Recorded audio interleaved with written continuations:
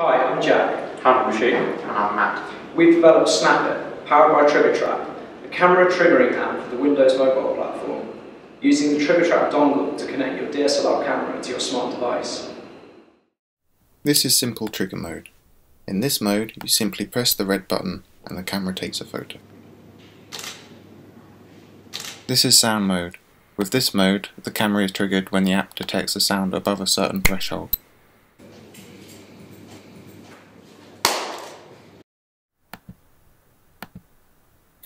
This is time-lapse mode. In this mode, you can select the time interval taken between each photo and the number of photos to take.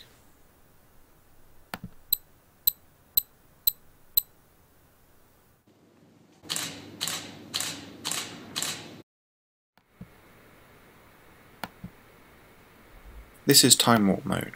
With this mode, the user can set the rate at which photos are taken during a time lapse.